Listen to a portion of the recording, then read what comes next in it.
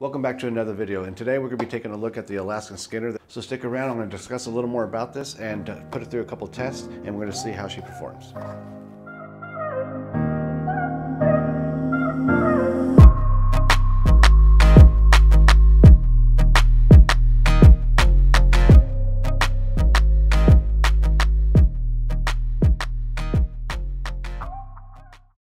Welcome back everybody. So David Payne is a gentleman I found on Facebook. He's a knife maker of 51 years and does an awesome job. And I just wanted to share with you an Alaskan Skinner he sent to me and let you guys see how it performs, run it through a couple of tests of how I would use it and uh, let you guys know what I think. Always make sure you guys have some type of hand protection. I want to go ahead and process this Roundup. Uh, I don't see any knots through it so it shouldn't be too too tough on the blade but I am curious to see if it's going to be able to handle it. And then uh, we'll proceed to feather sticking and starting a fire. So.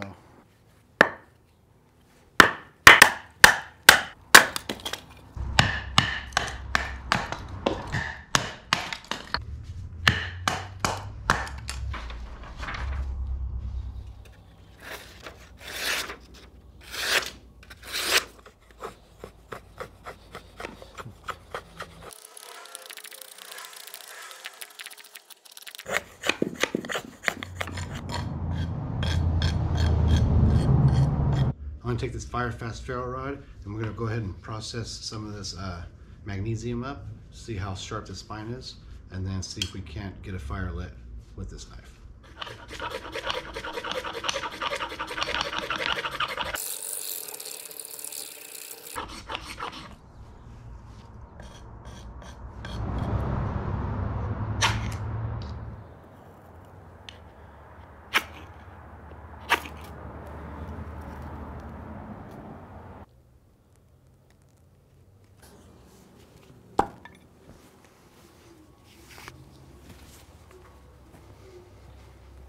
Overall, I really enjoyed how the Skinner knife performed. I understand before you guys tear me up that that's not what the knife is used for. The wood processing light camp chores is what I'm gonna be using this for, and it was nice to see it keep up with the tasks.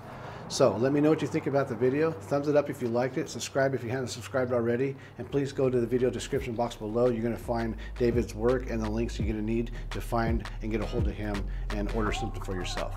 Thanks again, and I'll catch you guys on the next video. Bye.